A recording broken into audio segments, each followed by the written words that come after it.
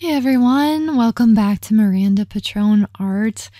I just want to start off by saying that I am so overwhelmed with the love you have all been sharing in the comments on Facebook and YouTube, Instagram, everywhere.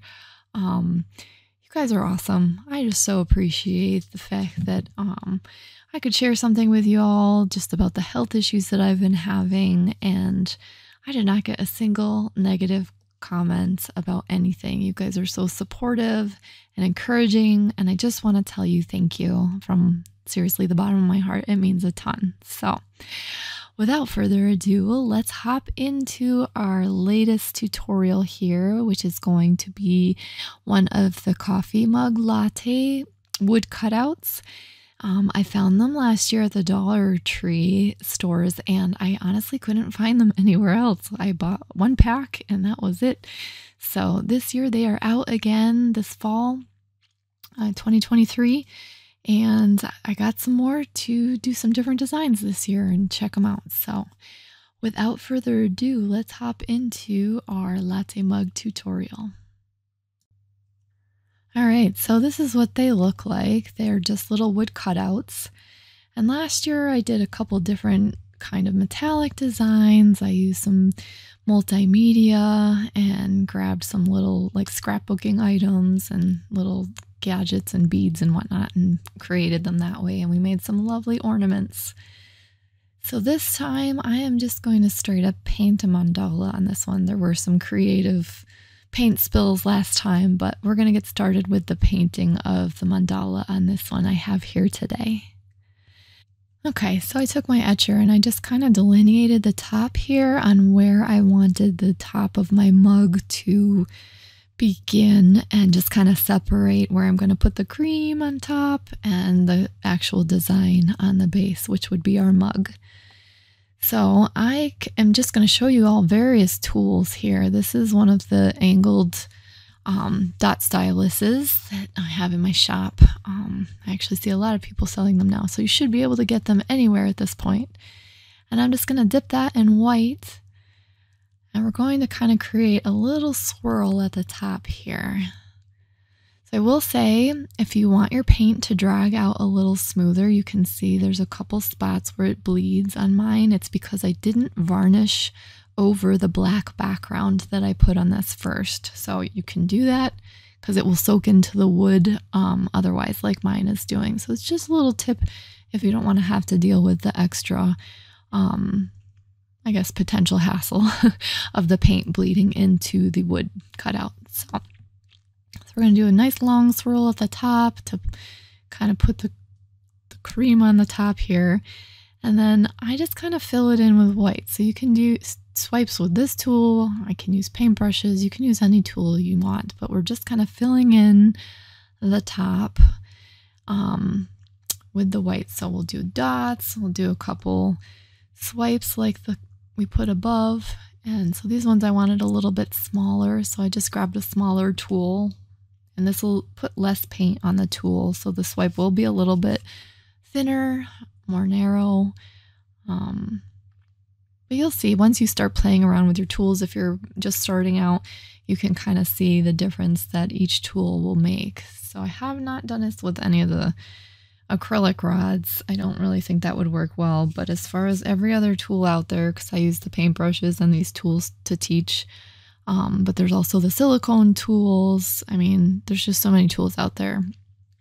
Dotting Company, Mark's Tools. I'm not sure if they, I think the Dotting Company does, yeah, have some ball styluses and some ones that come to a point that should work on this as well. Um, but you can see it's very random in the top. You're just kind of filling in multiple sizes of the dots to kind of create the cream look. So this is the etcher tool that I often use for micro dotting or kind of sketching out because after you varnish over, if I've sketched out like the line where this cup ends and the cream started, it will just kind of erase as you varnish it. So I you can use the etcher tool, I can use a paintbrush. You know, there's many different different tools that you can use to do this. So don't feel constrained to purchasing certain tools or getting different ones. If you see people using other ones, you can use what you're comfortable with. So I'm just staying within the top part of this and just kind of haphazardly, really. So there's large, small dots, just kind of filling it in. And you can kind of create some depth. There have been some where I've done, I add a little bit of beige or I put a little bit of gray. Um, you can do colored, you could do sprinkles. I mean, there's so many options for this that I obviously can't show in one tutorial, but just to give you some ideas on how to create your own and make it your own design. If you want more color, you can make a hot chocolate with whipped cream on top and do sprinkles everywhere. So don't feel confined to doing the one design. This is just one option of what you could do. And it doesn't matter if they overlap. I mean, a lot of times with doing the mandalas, people like to have it exact and separated and keep spacing. But for the top part of this, we don't need that. So this is raspberry. And it is a multi-surface, so you can see that it's kind of got a sheen already with it as you put the paint down. And that's because it will self-cure. So it is a little shinier. You don't have to put a varnish over it. I just happen to really like this color raspberry and I don't have it in any of the matte acrylics. So I am just going to grab it and use that to put some little swipes up here at the top to kind of delineate the area of our cup. And then the handle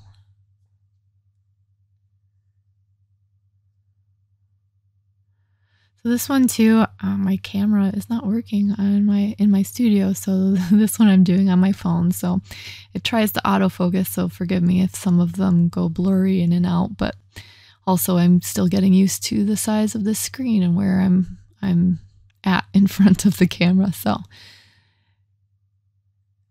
we're making it work with what we have. I was just excited to show you guys that these are out again this fall and just some of the things that you can do different ideas. I'm just kind of filling in, I guess in my brain, this kind of fills in the extraneous extra spots that kind of um, would make this not a round area. Does that make sense? So, like a lot of mandalas are on circles. Um, and you can do them any shape. We've done ovals, we've done square bunches. Um, but this just kind of fills in the mug a little bit so that I can kind of keep to that uh, circular mandala shape. So I'm just showing you some of the different tools you could use here. I just eyeball my center, but obviously if you want it more perfect, feel free to measure. Uh, some of the companies out there have silicone mats that you can overlay this that have stencils on them so you can get exactly where you want your center to be and then draw lines with it. But so that first center green, I used a paintbrush and it's probably a little bit larger than the 3 millimeter, the largest dotting tool on the stylus pack. And then that was foliage green, and now I'm on desert turquoise. And we're just starting out our mandala shape. So I like to keep my symmetry by just doing a plus sign first, and then at the 45 degree angles, putting the other dots in after I have the plus sign put in. Again, you can use various brushes. I mean, you could even see that one I just showed is pretty split. See the frayed ones? I should cut those off, but I was being lazy today and just kind of grabbed what I grabbed. But you can make dots with so many different things. I mean, mechanical pencils, Q-tips, there's everything you can dip in paint that you can think of. So I'm just putting those dots in between the desert turquoise. And now I'm going to grab my silicone dotting tool. This one makes the ovals on one end, and then the hard plastic other end makes little petal shapes. So this is Blue Mist. These paints are all from DecoArt. I've never really had to stray much actually from their colors and their paint line. I'm very happy with the consistency of their paints and they have great colors. And you can see I got off the screen a little there, but again, this is Blue Mist and we're making the large ovals. So it's the end with the actual silicone piece on the, this tool. But if you want ovals and you don't have this tool, the erasers that the kids put on the end of their pencils, the like odd shaped ones. Those will make ovals. You can use a flat brush. You can use a screwdriver. There's so many things. A flathead screwdriver. Um, those will make ovals as well. And I know I've done bunches of videos on all these, but I just feel like I haven't given much information lately, so I'm putting it out there for you all. One thing too with the mandalas is kind of checking to see if you have space. So say I didn't have space for this oval, I would have just left it as a quad mandala and we would have just done a four piece design and just filled it in from there. But we can kind of tuck these ovals in here for our spacing for a few more for this mandala. And actually each element you add for your symmetry, just double check that the tool seems like it's going to fit there or, you know, you can downsize the dot, downsize the element, downsize the oval, or whatever it is that you're putting in the space just to make sure that it fits.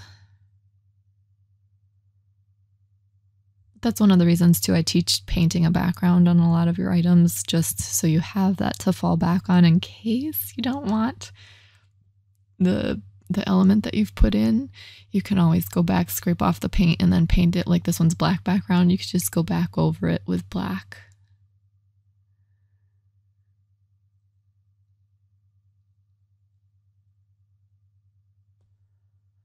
There's our blue mist ovals. And then I'm going to grab this is a little bit lighter green. I don't think you can tell much from the video colors it looks like, but it is called grasshopper green. So it's just a shade lighter. I'm sorry, inchworm, inchworm green. It's just a shade lighter than the foliage green. So you can even take your foliage green, add a little bit of white to it, and then you get the next shades lighter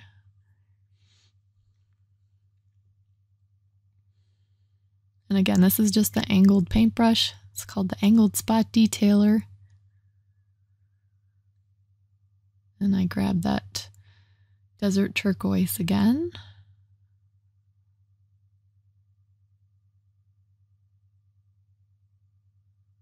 And the thing with brushes is sizing, to get your sizing is mostly about pressure. So pressure will spread out the brush, less pressure, smaller dot, more pressure, bigger dot. So if you're trying to start working with the brushes, that's one little tip to help you out there. Okay, so now this is the silicone oval tool, but this is the other end of the handle. So this will make little mini petals. And I just want to show, I, I press it down, but I kind of rock it back and forth so that both ends touch. So you get both points to make that little petal. So it's kind of like an oval, but they look more like a petal shape. Depending on the thickness of your paint, this paint's a little more fluid. We're putting those just above the other green dot here. And again, I apologize for my knuckles, but this is my phone camera. so different placement here on trying to get the video for y'all so you can see. But so we're just putting a petal at the top of each of those elements with the green dot and the two side blue dots. You can see how easy and quick it is to just start filling out a mandala, you know, adding different colors, adding different shapes. And you basically just start in the center and work your way out.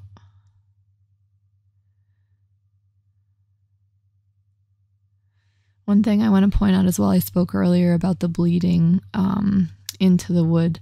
So you can kind of see the feathering on the edges of these, at least on my camera here. The feathering of the edges of some of the paint, that is because I didn't seal it. So if you seal the black first, you'll have a much smoother surface to work on.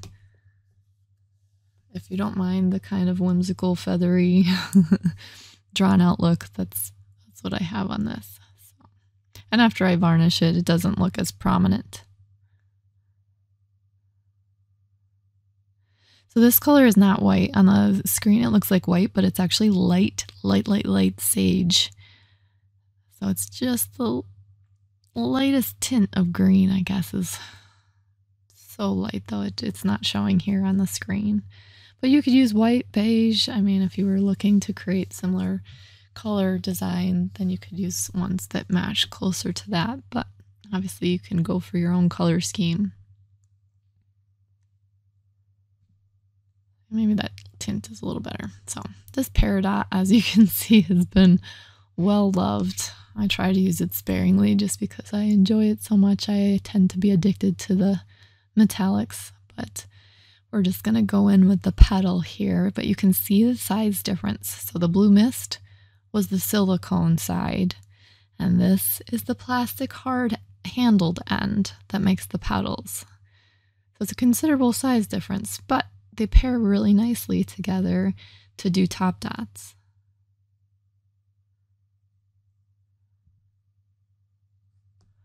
Again, I'm just rocking it back and forth to get both sides to touch. And you can see the consistency difference with this because this is one of the extreme sheen paints.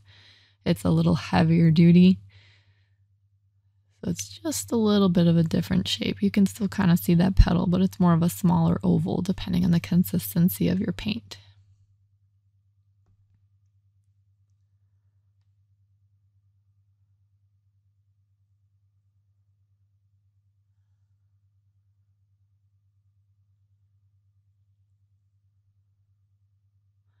And I'm going to grab some fruit punch here just because I feel like that raspberry needs some sort of a highlight here. So I'm going to grab the fruit punch and one of the ball styluses. This is probably one of the medium sized ones. And I'm just going to come in between here and just give it a little highlight along here.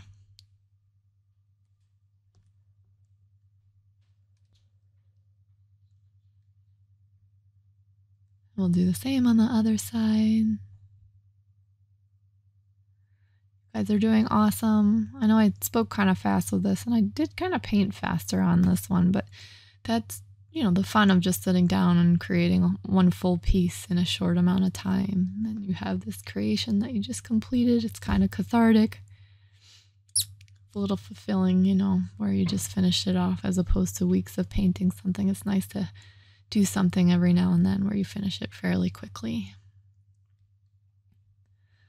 going to highlight again on the bottom here, the fruit punch in between my swipes. This one actually bled together, so this is an option to hide if your paint bleeds into one another because I wasn't patient in letting it dry. But there's our little mug. Just give it a nice green dot with the inchworm in the middle. And it's done. So I had done a couple other ones. That blue one came out pretty nicely as well. And uh, yeah, so I hope you all enjoyed this video. I hope you are inspired to go try to get some of these of your own. If not, I think I'm going to do a giveaway soon, which will have some of these mugs in it. All right, take care, y'all. It was so great being back with you. And again, thank you so much for the awesome encouragement. You guys are awesome. I love you all. Have a great day.